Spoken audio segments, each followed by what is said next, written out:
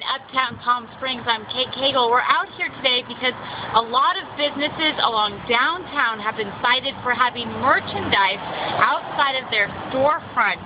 Uh, the city is saying that's a no-no. They don't want things to get out of hand. They think it looks tacky. But a lot of merchants are saying, look, we're just trying to make ends meet here and pull people into our stores.